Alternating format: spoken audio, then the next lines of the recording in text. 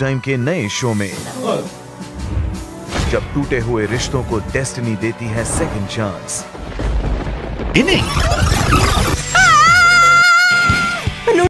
क्या फिर से शुरू होगा दोनों का romance couple on the back track starts 19 June